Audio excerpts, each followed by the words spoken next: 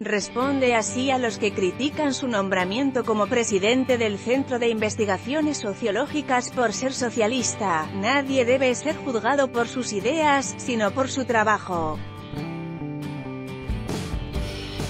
El presidente del CIS, José Félix Tezanos, ha defendido hoy que nadie debe ser juzgado por sus ideas, sino por su trabajo, y ha planteado a los que critican que un socialista como él vaya a encabezar ese ismo si también les parecería malo que lo hiciera un judío o un gitano. No lo sé si es malo que un socialista sea presidente del CIS y un comunista es presidente del CIS también es malo, y si es un podemita también será malo, como dicen algunos, y un judío también sería malo, o un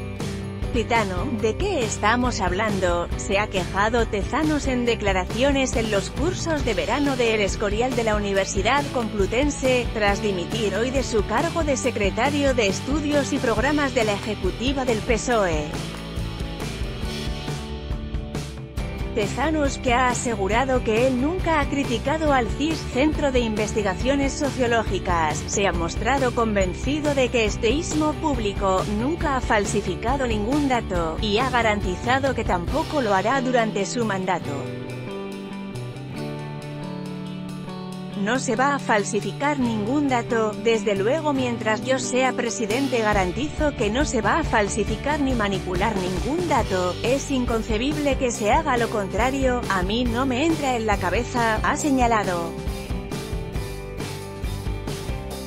El veterano socialista ha explicado que ha tenido que sopesar la decisión de dejar su cargo en la dirección del PSOE porque entendía que a lo largo de su carrera, con sexenios reconocidos y muchas investigaciones, había demostrado su objetividad y profesionalidad.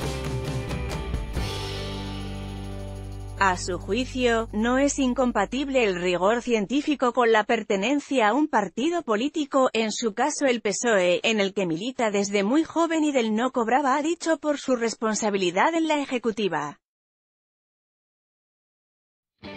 Es incompatible tener una responsabilidad política con ocupar un cargo en la administración. Es incompatible que alguien que tiene un compromiso desde muy joven, desde que estaba en la universidad pueda tener una responsabilidad profesional y realizar su profesión con independencia y rigor científico, ha cuestionado. Trabajo voluntario, preguntado por el hecho de que el 37% de la ejecutiva de Pedro Sánchez haya pasado a ocupar cargos públicos desde su llegada al gobierno, Tezanos ha incidido en que casi todos sus miembros hacían trabajo voluntario y no cobraban nada y ha opinado que es algo lógico porque una democracia se articula en base a los partidos políticos.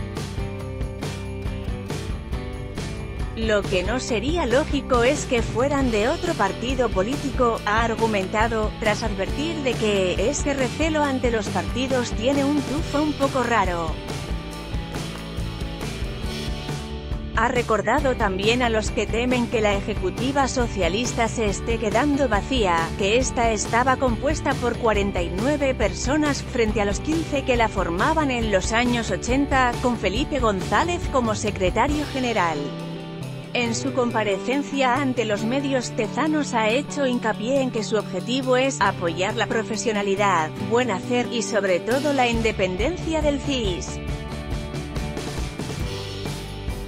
Esto es un ciclo político, ha subrayado que en la anterior dirección había profesionales magníficos, y ha elogiado especialmente al anterior presidente, Cristóbal Torres, que fue alumno suyo, pero ha sostenido que esto es un ciclo político y forma parte de la lógica de las izaciones, el relevo.